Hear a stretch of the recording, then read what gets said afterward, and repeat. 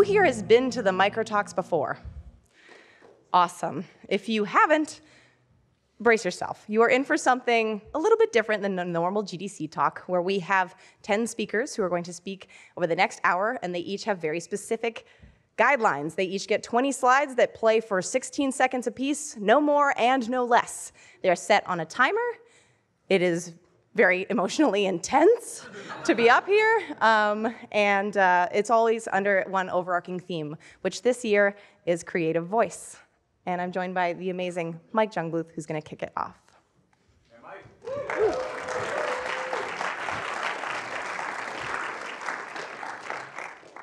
All right, here we go. Hi, I'm Mike Jungbluth, a lead gameplay animator at BioWare, and I'm creator of the Animation Bootcamp and the Animation Exchange. So for the next six minutes, it makes perfect sense for me to talk about the benefits of supporting a creative voice both your own and others. The core of what we do as animators, technical animators, and animation programmers is support other people's voices and help bring them to life. This goes for both our teammates and the characters in our games, and that support as well is just so tiring. I mean, when you've made so many similar combat and locomotion systems from game to game that it feels like Groundhog Day, summoning the strength to get excited about another mashup of other proven game systems and power fantasies can just get harder and harder. So, if I'm being honest here, more than some altruistic idea of supporting other people's creative voices, this is really about what are we doing with ours? We all hit a point where we sort of say, what the hell am I really doing with my animation and these characters that I'm helping to bring to life? Do I want to work on giant games with giant teams, or do I want to work on a smaller team and go the indie route? After all these years figuring out the skills I need for the type of work I do now, can I even scale that up or out as needed for the other type of work? And who the hell do I think I am that I could even say anything that anyone would care about to begin with? Okay, uh, imposter syndrome. Uh, syndrome. What should I do? Uh, I could go skydiving to feel a little alive. Um, there we go. That's the sweet adrenaline boost that I needed. Maybe that can masquerade as confidence for my remaining four minutes. Four minutes. What have I been talking about for the last two minutes? All right, let's, uh, let's check my notes. Uh, okay, uh, that doesn't mean anything. That doesn't help. What? Fuck. Uh, okay, support. Uh, supporting a creative voice. Right. Look at that bastard faking confidence on slide one. Ugh. Fake it till you make it, right? Uh, we could easily waste our next three minutes on if you ever stop feeling like a fake or if you can ever really make it, and the very feeling of making it leading to the tedium that got us here. But let's look at the space between fake it and make it. Knowledge and expertise are the bridge, uh, the bridge over the fake it to make it gap. They're the reason we're all here. They're why the boot, the boot camp and the exchange exist. The more you learn about a subject, the less of a fake you are. And the more you can share how you made it, well, the better it is for everyone. But that's really been largely focused on the how of the craft. And while the how remains important, the what you're saying and why you're saying it of our craft now needs a lot more focus. Otherwise, we've really just built a bridge to nowhere. Or worse, an unwelcoming forest. Because the knowledge and expertise we needed to get here is often separate from the expertise required to pass through. We need to become versed in sociology, psychology, philosophy, economics, anthropology, archaeology, a whole bunch more ologies. Sure, you don't need to know what all of these things are to share your hot take on the what and why, but we as creators should strive to engage with everything in life to the degree we do our animations. It can be your torch as you venture into that unwelcoming forest. But if creativity is the spark that lights your torch, knowledge of the subject is going to be the fuel that will keep it lit. And like water to a flame, Lack of knowledge will actually weaken your torch until it's eventually extinguished, leaving you in the dark, alone. And relighting an extinguished light is even harder than lighting a new one. The amount of knowledge to cover the doubt you and others will have about your ideas and approaches will make even the brightest of creative sparks feel dull and, well, lifeless. So we need to make the forest less of that and more of this to help the people crossing the bridge of how not succumb to instant burnout and cynicism. Because, like the bridge we built and maintain, we now have a lot of forest paths to light, which isn't going to be easy. So, when you see people speaking about the what and why, even if all you want is the how, listen. It can matter someday. If you're thinking this isn't an animation talk, well, I see you, but my remaining minute can't be the end of this conversation. We all need to be open and honest about what we know and what we don't know. When you have a source of knowledge, share it. When you don't, listen. Then we can all know how much fuel we have and where to fuel up when any of us need it. We need to then know our platforms that we engage with social media, conferences, our games. They allow us to engage with different amounts of immediacy, agency, and directness, which can multiply the intensity of your light. And each is going to require different amounts of fuel. Because the what and why are less objective than the how. So we need to be better at balancing our engagement with what we and others make. Take care not to burn out your own torch or to burn down another's path when trying to light the way. My hope is that this week we have a lot more what and why conversations on our path through the forest, because in the forest is a new world full of inspiring and unique creations, pushing all of us to know more about the craft and ourselves, but also each other by honestly supporting each other's voice. Thank you.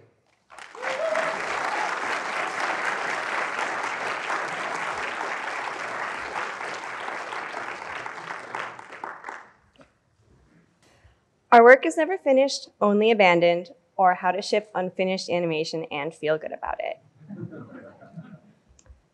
Hi, my name's Kristin. I'm an animator and I've been in the industry for almost 10 years. In my career, I've shipped over 16 titles and have been credited on probably more than 20. Doing the math, that's almost two games a year, or more than that if you take everything into consideration. Yeah, that's a lot of projects this isn't a brag. I bring it up because it means I've dealt with some very tight deadlines. And when you don't have enough time or resources, you have to find ways to ship unfinished animation and feel good about it. Shipping unfinished animation? That sounds kind of embarrassing. Sometimes, no matter how much time and energy you put into something, it's not going to be good just because video games. It's up to you to dig into your creative toolbox and tackle all the problems, expected and unexpected, that are thrown at you. You know, there's the age old problems. Perhaps game design isn't locked down. Perhaps some big opportunity arose and you have to ship early. Or perhaps you just never even had enough time to begin with. And then there's the weirder problems. Perhaps all your animations are sped up to match the, match the beat of a song out of your control. Or your animations are shared across totally wildly different characters. Or you can animate your character's body, but their heads are controlled by a Avatiered VR headset. All real things I've had to deal with. And no matter how normal or weird your problems are, things happen, you just have to get it done. Don't get me wrong, I'm not saying you should death march crunch your way through it. Don't just give up and half-ass it. Work smart, not just hard. And real talk, focus on what's important and work on the extras if you have time. Don't sacrifice your friends and family crunching on something that no one's going to notice but you. Because players are not going to care that you stayed late to put that subtle offset in your character's fingers. And that's who we're making these games for the players. On one game I worked on, I decided it was better to add animation variety than to polish a few animations to a perfect polish. I wanted the player to be delighted and surprised when their character did something fun and unexpected. Always remember who your game is for. And yes, that means for that game I didn't end up with many demo reel pieces, but that doesn't mean the animation was bad. It accomplished what it needed to for the situation, and the players enjoyed it. You're making a game, not a demo reel. And that's the point.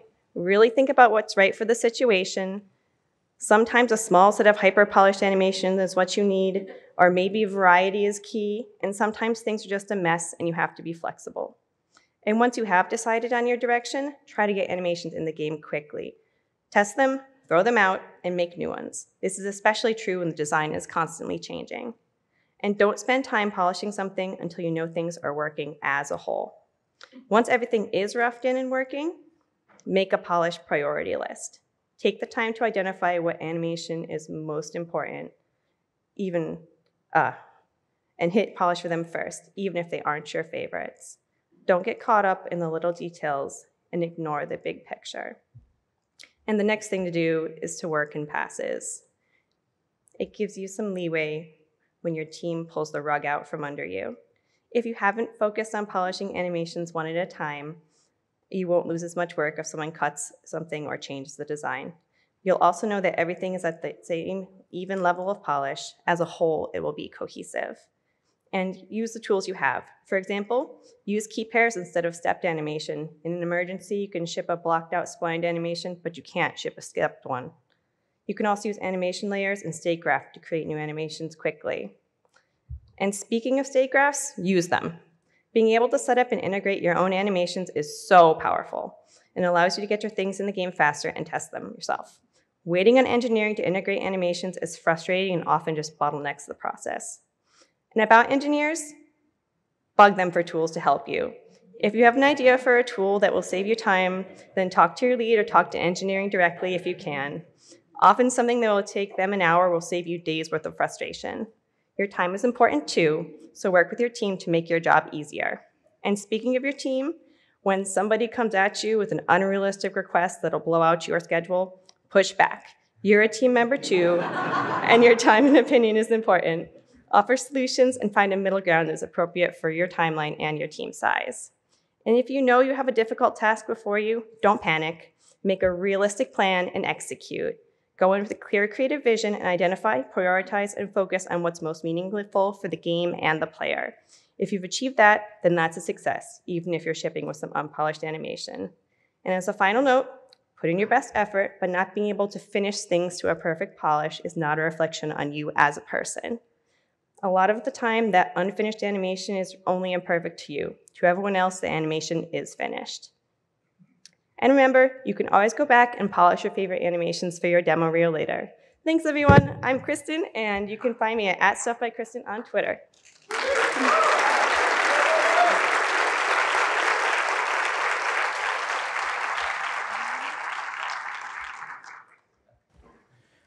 Hi, everybody. My name is Yussef Cole, and I'm from the Bronx, New York. And uh, this is the homepage of my website. There's a reason that it looks like a bad choose your own adventure game. It's because I claim very two different lines of work as my profession. Oh, God. Hold on a second, it just broke. Let's try that again. I am a motion graphics animator, and I specialize in software like Adobe After Effects and Cinema 4D. I animate shapes and typography for 2D screens, and I've been doing that for over a decade. I've worked on projects for companies like Facebook, Nike, and so on. And I'm also a freelance games critic. I write essays about video games where I try and dig into unexplored themes and how they reflect uh, politics and history in the world. I've written for sites like Waypoint, Paste, Unwinnable, and ZAM, which brings me to what I'm going to talk about today picking passions. For years, I've done motion graphics as my main gig and picked up freelance writing on the side. Why? Because as interesting as the process of animation can be, a lot of the jobs I've taken haven't been that intellectually stimulating. There's a lot of creative potential in motion graphics, but the content is usually a little hard to care about snowflakes for a car commercial, uh, animating cute mascots for health insurance companies, helping a social media network apologize for being shitty before they then go on to be even more shitty.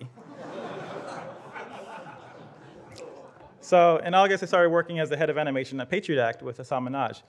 And this is a show, uh, it's the first time in, in many years that I felt truly invested in the end product and the content I'm making. I get to work with fun, brilliant people coming up with fascinating topics that I actually care about. And uh, this presents a problem for my side hustle, writing. On the, many of my previous gigs, I was able to take weeks off for research, brainstorming, and pitching. Now my time is super compressed. We make an episode a week uh, from the start, so I can't give this job just 75%. But I still love to write, so I've spent the past few months wrestling with how exactly to do that. That means squeezing in my passion projects where I can, like on the train before work, writing at night before passing out, waking up early to write, never going to the gym ever, of course, there are some limitations to these methods, trying to finish an essay on my phone in the middle of rush hour, not getting to spend time with my partner or my cats after work, being perpetually sleep deprived, never going to the gym ever. um, there's there's got to be a better way. A lot of the friction comes from trying to do two totally different things at once. It's really hard sometimes to switch gears in the brain, especially when one of those gears is huge and overwhelming and sucks up all of your time. Uh, here's how I attempt to invest both in writing unique, challenging essays and engaging more fully in the creative process of the show.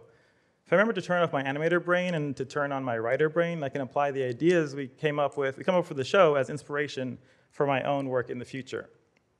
So I think Karl Marx may have been onto something when he told workers to seize the means of production.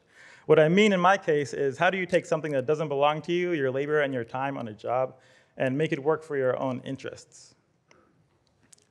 So um, some background, I enjoy writing about culture and politics and how they intersect with games. Um, some examples are for Unwinnable, I wrote about uh, Cuphead and the racism of the 1930s cartoons that inspired it. I was able to dig into the history of minstrelsy and American uh, entertainment for, for this essay. For Waypoint, I wrote about Detroit Become Human, and I talked about the game's questionable analogy between race, labor, and fictional androids. I also talked about how the studio itself, Quantic Dream, is also plagued by labor issues and how that knowledge infects the messages trying to get across. So both of these essays were deep historical dives, which required a lot of time spent on research. And I don't really have that time anymore. Patriot Act is all, but uh, luckily Patriot Act is a show about historical deep dives though. So the solution to my lack of time then is to allow my main hustle to work for my side one. Here are four of the episodes, um, some of the episodes that we've done so far on the show. One is about student loans, one's on Amazon, Supreme, and Saudi Arabia. Without spending too much extra time, I can generate some really interesting pitches off of each of these subjects. Is it worth going to school for esports, for student loans? Uh, how scarcity culture affects the value of rare old games for Supreme? What Amazon's history of cannibalizing its own its competitors means for its game publisher and games in the Arab world and youth culture in modern Saudi Arabia? I haven't written any of these yet, so you guys are free to pick. One of the most important practices of a games critic is looking outside of games for inspiration. Rather than seeing my day job as a slog, something that doesn't apply at all to writing, I now see it as a creative goldmine with plenty of excess ideas and energy spilling out. I'm daily inspired by being on a creative job that thankfully seems to have a lot of parallels with my side hustle. Uh, but the kind of job you have shouldn't matter. The key is finding the right similarities and learning how to make wildly different disciplines inform each other. The result can be something greater than the sum of its parts. Am I still tired? Yes. Time will never be on my side. I still have to write in the mornings and on the train and on the weekends. But it's something I love to do and I will always love doing. So I'm, gonna, I'm glad that I found a way to not only make it work with my day job, but to make my day job work for it. Thank you.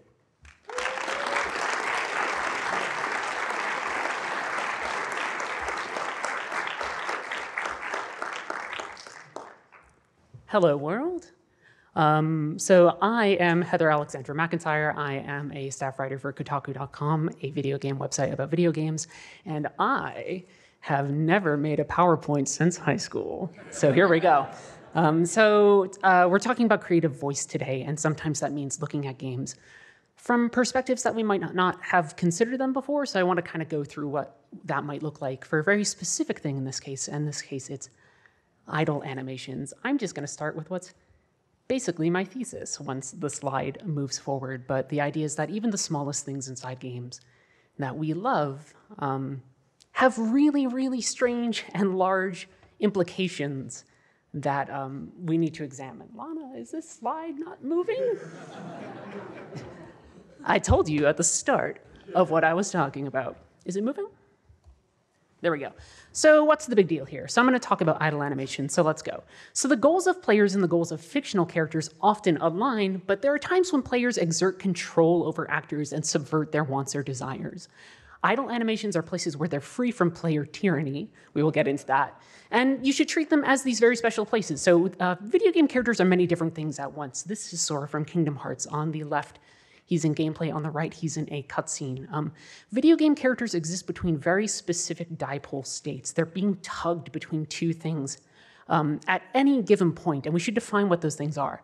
They are both actors, by which I mean that they are controllable persona manipulated by players, and they're characters, by which I mean individuals within a fiction, but also like people in a world, and we need to start treating them like actual people.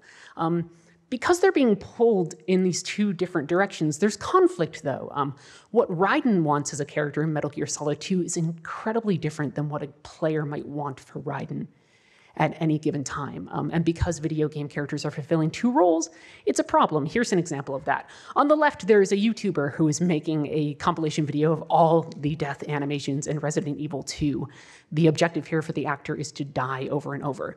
Claire Redfield's objective as a character is to live. These two things are not compatible. That's super screwed up. But good news, these two things can align. Solid Snake wants to sneak through a base and he wants to complete his mission. The player wants to not get spotted and get the highest rank at the end of the game. Great. Things are in alignment. But we need to be careful because players are tyrants. Um, I know we're supposed to say, like, players are the best and everything, but players scare the shit out of me. They control everything about video game worlds. They can make these people, and I mean it, these people do things that they do not want to do. Um, the implications of that are very scary. I think video game characters want freedom, and thankfully, there are places where they get it. Thankfully, yes. Um, cutscenes is one place where they actually get to act as like entities solely within their fictional world, by which I mean they just get to be people, and then idle animations where they finally get to express just for a moment a little autonomy. This is Sonic the Hedgehog. This is very well known idle animation. This thing expresses a very specific tension. Um, Sonic the Hedgehog's objective is clear here right now. He wants to move, but the player is a tyrant and they're not pushing buttons on the controller. And so, therefore, we don't just learn something about Sonic the Hedgehog's personality because of that idle animation, because look at him, he's a nice, fun guy. He's like, all his buddies are smiling or whatever. But also, um, that animation starts to express something about Sonic and his actual relationship to us and players. Um, which is to say, you know, Arthur Morgan goes into, into town and he shoots like 50 people because the player's like, I'm just going to be rootin' tootin' and shooting. Um, but then when they stop, um, Arthur uh, shakes out his hand when he's on his horse. Um, that moment is beautiful to me. Um, it's the moment where Arthur gets to exhale finally after being controlled. Um, sometimes Arthur Morgan will pet his horse, and in, these moments we can ask us uh, like questions like, "What does Arthur Morgan value?" But we should also be asking, "What does Arthur do, and what does he value?" Before the player asserts control over him as an actor. Those are the things I want to see when I return to Arthur, um, because small moments aren't um, these people, these entities, are being controlled constantly by players, by tyrannical people. And so the moments where they get to even express a tiny moment of themselves, even though th- those things are being crafted by us, um, are important. This can happen in gameplay too. Here, Mario is skidding. This is not just about game feel, it's not just about having good platforming mechanics.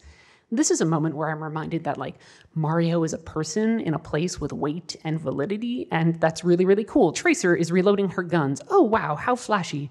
Those Blizzard animations are really great, aren't they, Lana? Um, but also, like, you can you can kind of cancel this animation by hitting like melee, but otherwise, I will suggest to you that this is a moment where Tracer is free.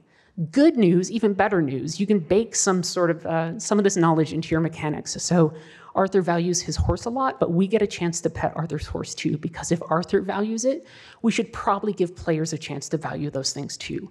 If Arthur values it enough to do it by himself, bridge that gap and allow your players to do it with Arthur because empathy is key. You need to be treating the people that you're animating as people. I keep on saying people because I mean it. These are entities. Um, and if you start to find the moments in your games where people can um, break away, that's great. There are exceptions to this, like digital worlds are a huge exception because the bodies that we inhabit in digital worlds tend to be a little bit more like extensions of our limbs. So we get to sort of define the poses and idle animations in there. But otherwise, Find the moments where your characters can break free from player tyranny and emphasize them.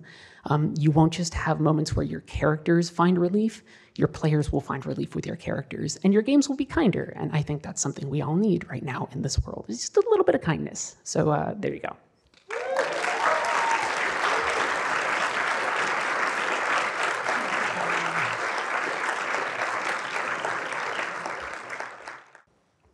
Howdy, everybody. My name is Brandon Nason, and I'm a 3D animator currently working at Pocket Jams, a mobile gaming company based here in the city. It's about three blocks that way.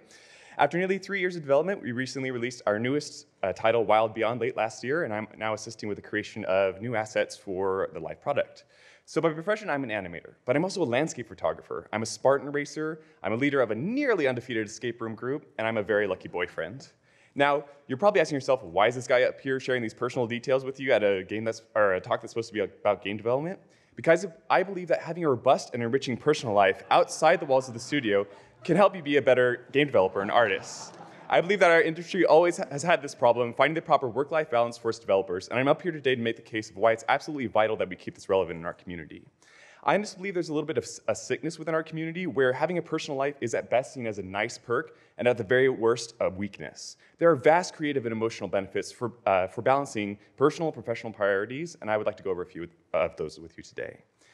I think that we often get a little wrapped up in finding reference and tree animation a little bit too cerebrally sometimes. We count frames, we analyze spacing, and we make these really embarrassing uh, reference videos, uh, and we try our damnedest to get these massive tangles of sine waves to somehow create life.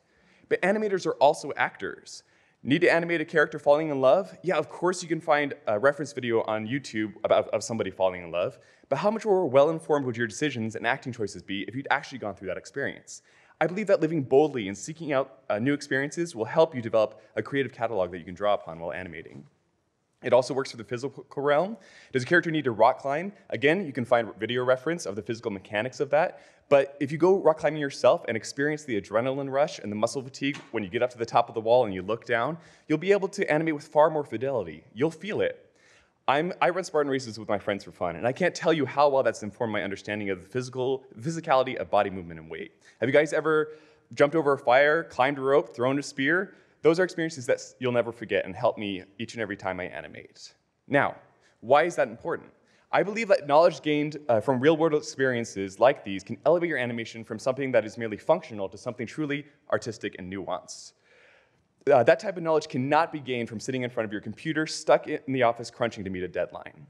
So let's take a moment to talk about the emotional and uh, benefits and uh, prioritizing your personal life. animating, so animating professionally can be grueling. As amazing as this filling as a career in animation can be, it often comes with a price.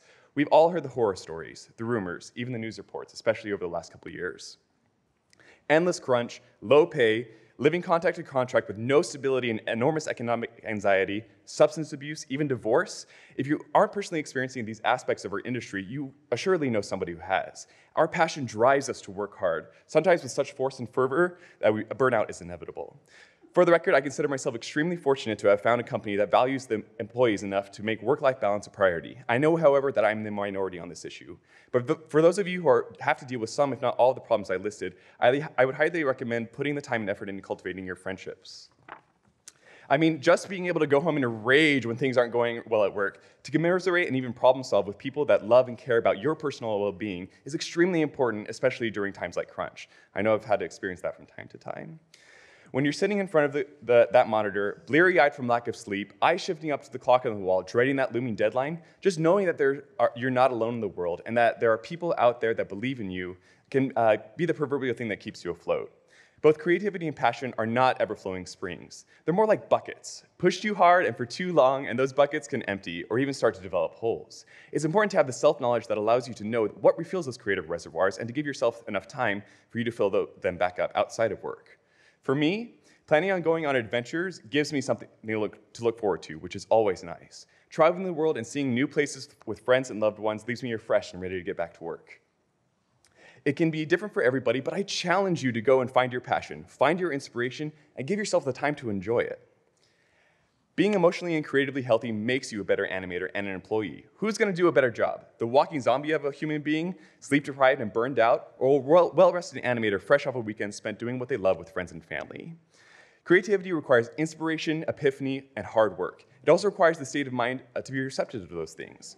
Remember that at the end of the day, in spite of all the various programs we interface with and the professional obstacles that we must navigate, we are artists first and foremost, and as such, we thrive off inspiration and personal experiences just like any other artistic discipline. Know too that we are all only human and that we need some recovery time and the solidarity of friends and family uh, to get us through the tough times. Each and every one of us only has this one life to live. Jobs will come and go, your work will ebb and flow, but your personal relationships and emotional and creative health last forever. So get out there, make friends, call your mom, experience life, and above all else, make sure you take care of yourself. You'll only be a better artist and game developer if you do. Thank you.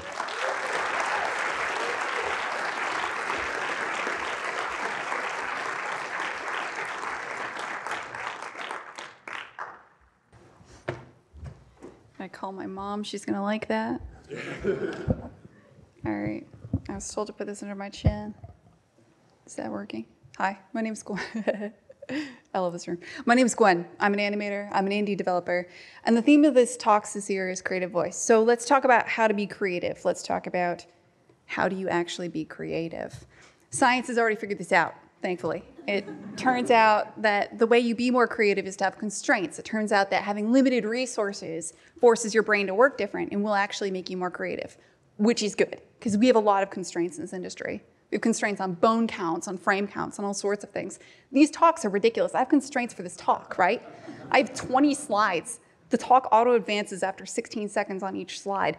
I have to work within these ridiculous technical constraints. And I have other things too, right? Like I've got constraints on my tone. Because I give this talk, I've given it several times, and every year I do like kind of maybe a quirky, funny sort of talk. So now I've got an audience built up, and they expect me to do a talk like that. And if I do something different, my audience will be mad about, well, they just won't like it as much. And then I have this other audience, such as people in this room, right? Like, look around. Everybody here's an animator. You want to hear about animation. You don't want to hear about like my book club or Lana's haircut or design or comedy. You want to hear about animation. It's why you're here, right?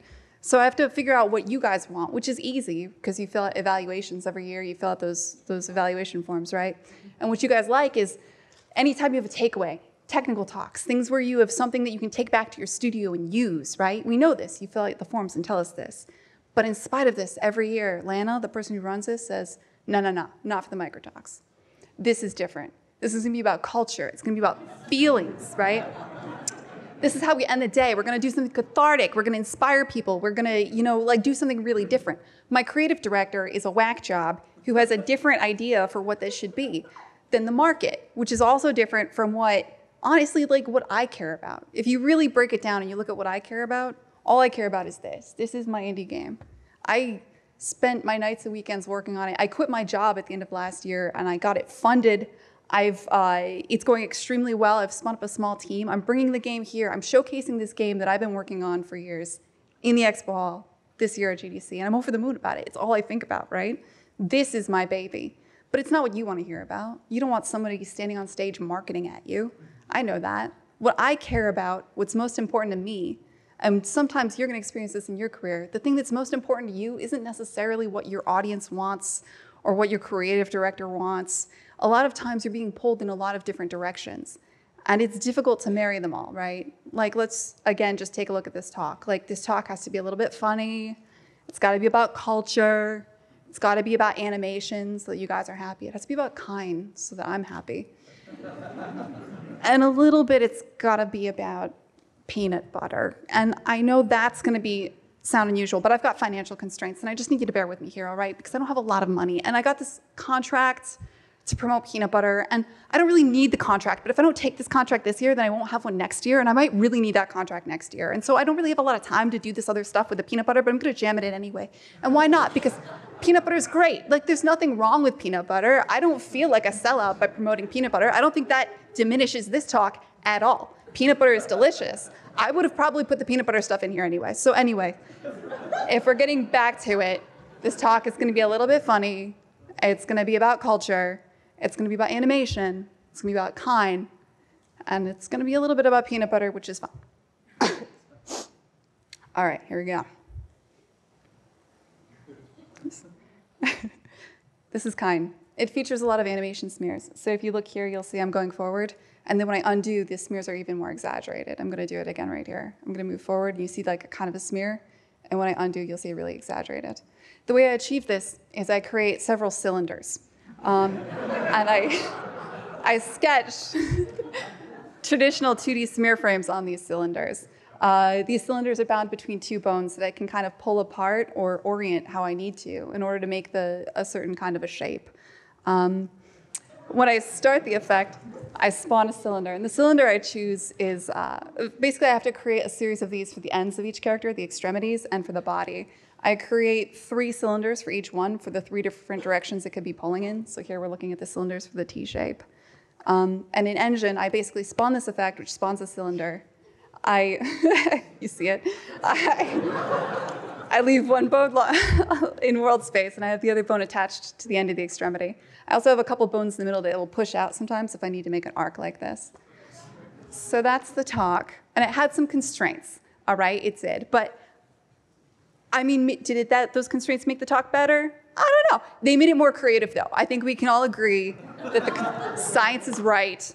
That talk was more creative because of it. And I think that's a good thing. So if you're ever pulled, if you feel like you're being pulled in a lot of different directions by your director and different people at your studio, embrace that. That's a good thing. That's going to make you more creative in the end. My name's Gwen. Uh, the game I'm showcasing this year is Kine. You can play it on the expo floor later. I hope you enjoy the nut butters and the rest of your day. Cheers.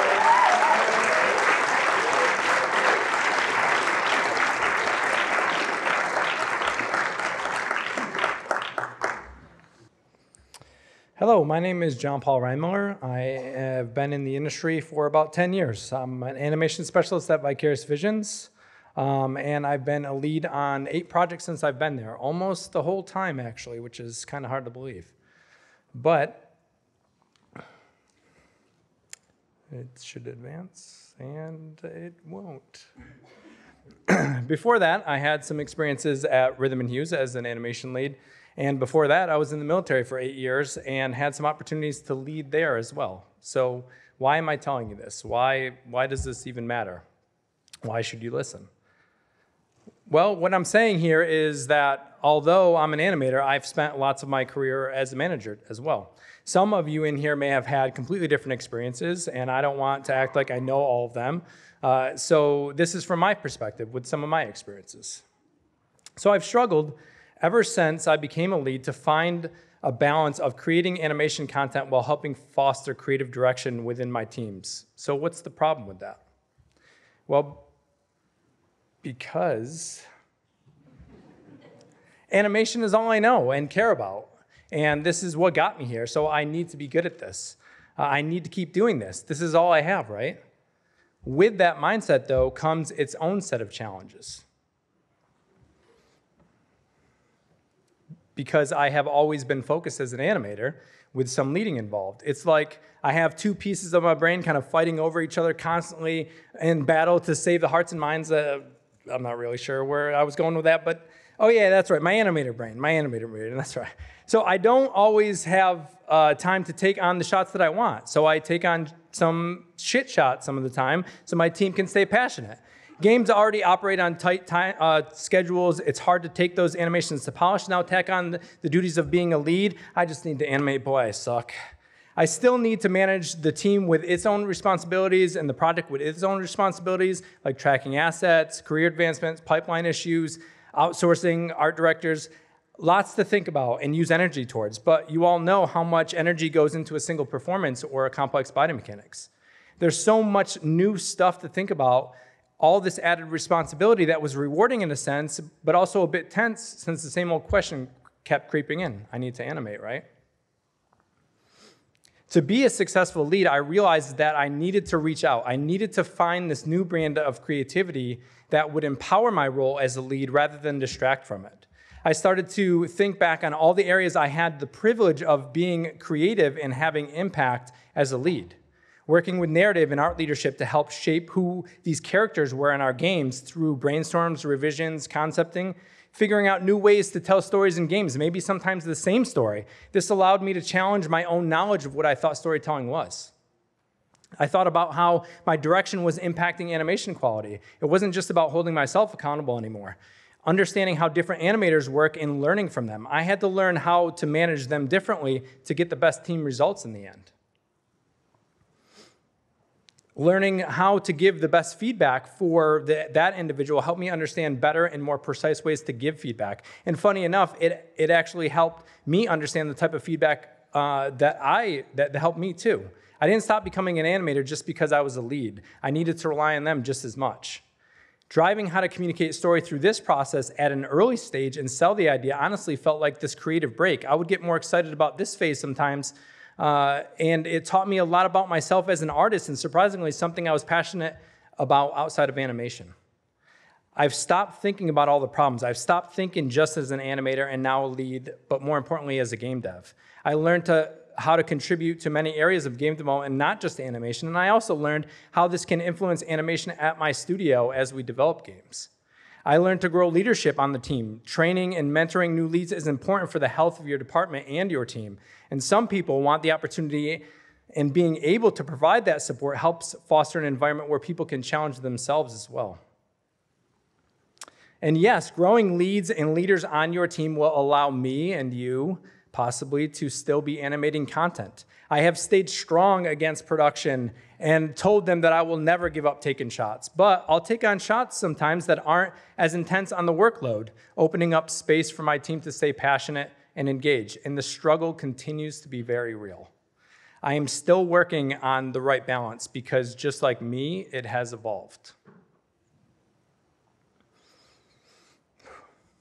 I know now that I will be creative and I will have a voice. It's just up to me to help define what that balance looks like. And now, with all of that out of the way, I can get back to making really important decisions. Like on Fridays, it's donut and bagel day. So, which one am I going to choose? Finding your creative voice in what we do comes with challenges and struggles, and that's okay. I don't know which way to go all the time, but as I look out at how I contribute to the creative process of being a game dev, it has become clear to me that leading, like animating, is what you make of it. The choice to find your voice in all of this is what has empowered me to be creative. Thank you for listening. I'm John Paul Rhinemiller, an animation specialist at Vicarious Visions. You can link up with me on Twitter or all week at GDC.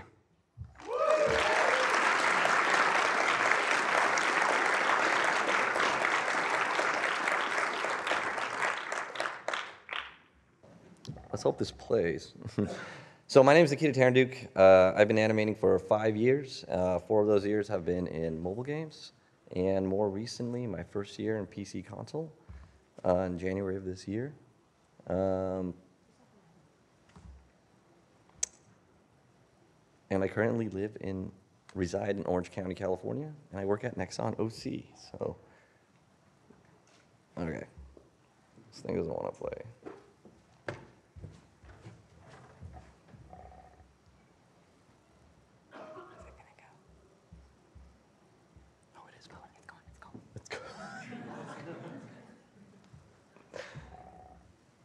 Okay, I guess it's playing.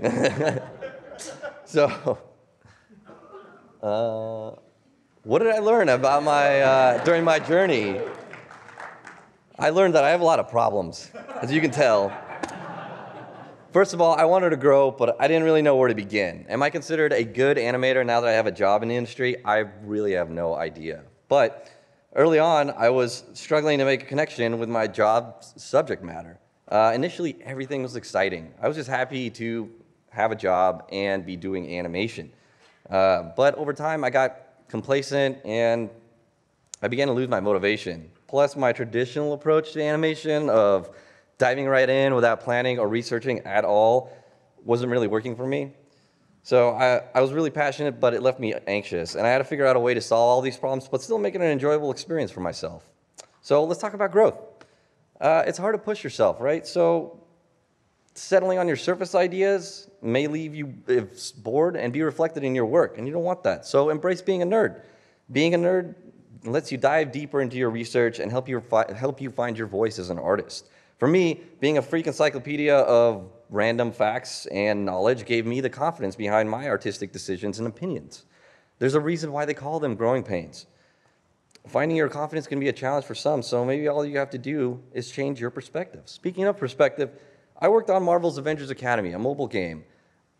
I am not into Marvel comic books. I know, please don't hate me, but I do have a healthy obsession with mythology and folklore. And by reframing Marvel, uh, Marvel as a modern day mythos, I was able to take a look at character progression like Thor, or characters like Thor, and take note of how his personalities change over time. Just as an example, a Shakespearean actor that we all know and love, uh, from, inspired by classic mythology in the first film, to the more goofy and awkward badass of the by the end of the third film. I want to talk about passion really quick. Have you ever seen a shot that you could feel the animator was having fun with it? Well, my friend Lindsay Lydecker animated this shot, and she's incredibly funny and naturally animated. I think that she was very successful with this animation by establishing a personal connection with the character, which led to other artists being inspired by uh, her idea and creating art on their own. So if you can make a personal connection with your character, you can make anything they do interesting, right? Be it running around with a cardboard box in your head, playing with a soccer ball, or simply sitting down in a chair. However, it's not enough to just be passionate. I like to jump in and start doing things. But that would often lead to frustration, and that was just simply because I just didn't have enough information. However, I discovered that YouTube has plenty of information, including summaries that I could listen to without having to read the entire Marvel omnibus. I was on, I was on tight deadlines, and I had, uh, I had a really tight schedule, so I had to make do with what I had. In the case of Moon Girl and Devil Dino, I had no idea who either of these characters were. All I had to go off were visuals, which often depict the Devil Dino as just a crazy dinosaur. But getting to know the relationship helped me focus on his playful puppy attitude instead. And Devil Dino had more to him than being just another angry dinosaur. Even with all these strategies in full swing, researching was still a pain.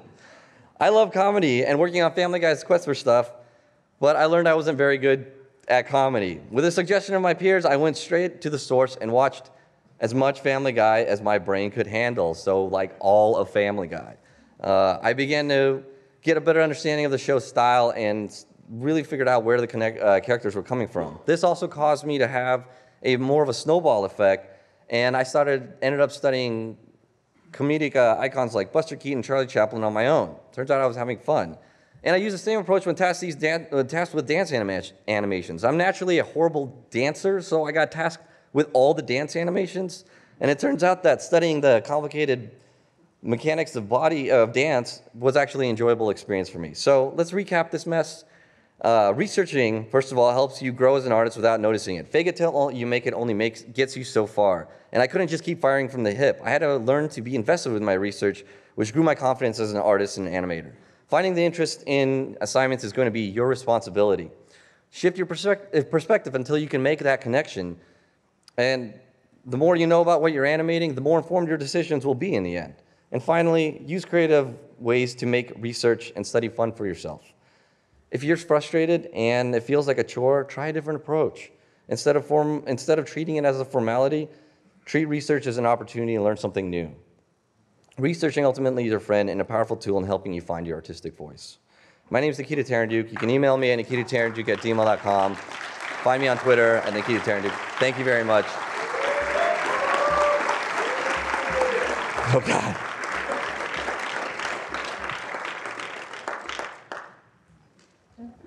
My name is Nikki Roth. I'm a tech animator at Google, and I'm here to talk about confidence with confidence. All right. So, let me tell you a little bit about my first career in gymnastics. I grew up as a competitive gymnast, and as a gymnast, you are literally judged on your confidence and ability to execute skills. There was this one skill the full twisting side gainer. I remember spending an entire summer training this beam dismount. I practiced it and practiced it until I felt confident I could perform it under pressure. You can imagine how nerve wracking it is to throw yourself backwards and upside down on a four inch piece of wood. Beam was not my favorite event, it was more of a mind game. But it was time to debut this skill. So at the next meet, my coach gave me her pep talk. She told me I could do this, she reminded me how many times I've done this before. And she went over the 10 different things I should focus on. But what really mattered was that she and my teammates were there, cheering me on. I went through my own rituals, the internal monologue. All right, Nikki, you got this. The drills that were now mantras lift, set, wrap, and all the ridiculous mind melding it took for me to believe I could do this. As gymnasts, we are taught to stand and walk with attitude. So I strutted to the beam, I saluted, took a deep breath, and began the routine. The moment came lift, set, wrap. And I nailed it.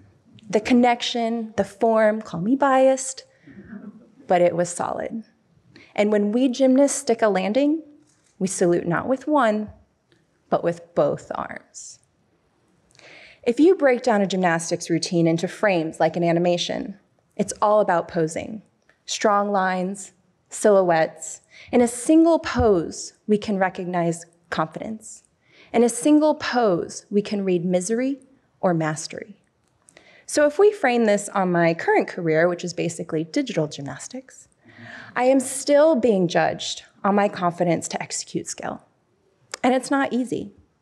It takes practice, courage, and it really helps to have support.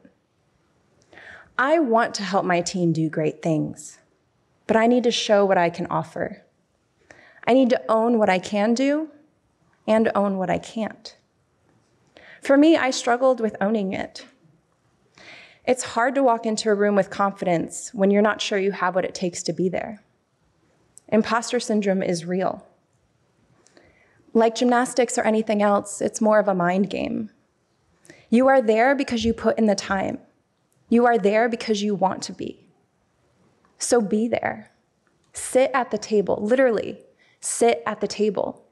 You belong there. Be present and engaged. Listen thoughtfully, but don't just listen. Form your own opinions. Your perspective and your experience is so unique that you, and only you, can bring it to the table. But don't just bring it. Share your thoughts. Say them and say them with conviction. Speak up, ask questions, amplify your voice, and be part of the conversation. We can read body language, but we can't read minds. I used to be a chronic mumbler. I was constantly having to repeat myself. I would be interrupted or talked over. But when you come from a place of passion, you will energize the room. If you are authentic in what you have to say, others will care. If you are transparent and show empathy, others will appreciate what you choose to share. On the other hand, speaking up does not mean being the loudest or talking the most. Speaking up is about sharing your voice and sharing the floor. By including others around you, you can create a dialogue and a space for everyone. We all have different personality types. We digest information differently, express ourselves differently. Not everyone prefers speaking in front of large crowds. It makes us feel vulnerable. When you are considerate of this, when you empower others, it empowers you. It builds a network of support and trust that will absolutely help to build your confidence. And allies can give you the courage to speak up when you need to the most. So, it's time to debut your skills. Confidence comes with training, courage, and support. I encourage you to practice sharing and share what you practice. Trust it, own it, and when you nail it, salute with both arms.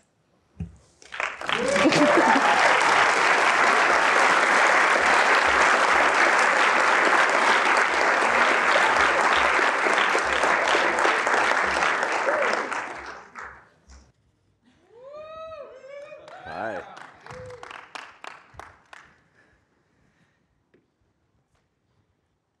Wait. Oh, Oh, boy. oh, there's water? No, there's not. Oh, damn. Okay. this, is, this is the last one of the day, right? Last one of the day, last one of the day, this is it. Um, hi, everyone. My name is Lana Bachynski. I am a senior animator with Blizzard Entertainment.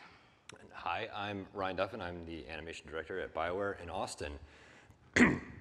Were you the kid who drew in class when it was against the rules? Were you a straight A student, troublemaker, or a fool? Recall with joy or dread the promises admission said? So you spend all your money on an animation school.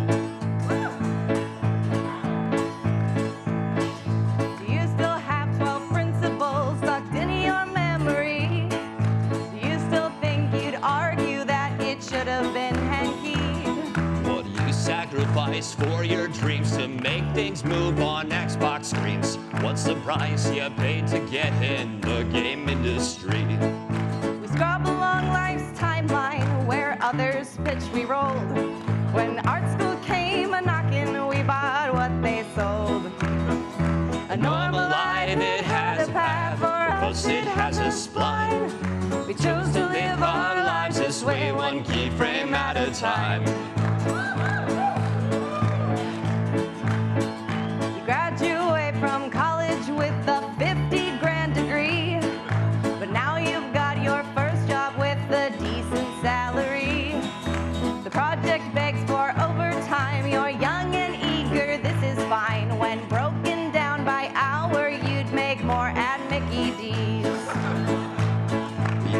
Started on your second game without much introduction. You carve your niche among an institutional dysfunction. From step to block to polished blinds, you've redone this whole shot ten times because your directors never heard of pre-production. We scrub along a life's timeline where others pitch we rolled. We eased out from a life of cycles, loops, and holds. Normal life, it has a path. For us, it has a spline. We chose to live our lives this way, one keyframe at a time. You get a corporate job and now you're making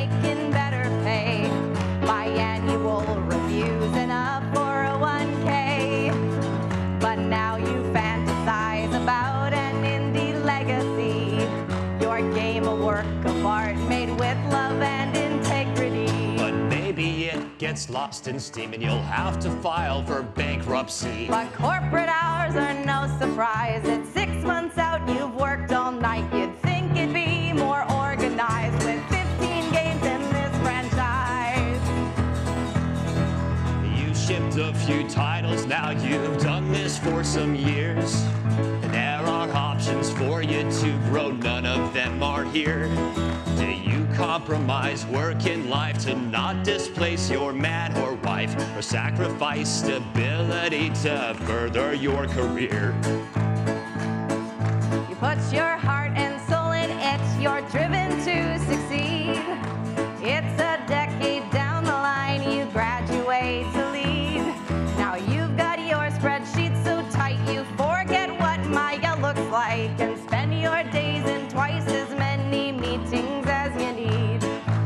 Scrub along life's timeline where others pitch we roll. We chase mastery of an art instead of chasing gold. A normal life, it has a path. For us, it has a spline. We chose to live our lives this way, one keyframe at a time. And now you're looking back over your successful career. You've gotten some good and bad credits over the years, but it's a fight to stay relevant. Is there such thing as retirement? In a couple decades, will there still be room for me here? We, we scrub along life's timeline where others pitch we rolled. And you can feel the frame rate change as we grow tired and old. A normal life, it has a path. For us, it has a spline. We chose to live our lives this way, one keyframe at a time. We scrub along life's timeline. We keep our layers clean.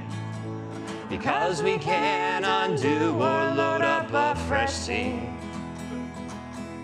normal life, it has a path. For us, it has a spline. We chose to live our lives this way, one keyframe at a time. We chose to live our lives this way, one keyframe at a time. We chose to live our lives this way, one keyframe at a time. Thank you so much.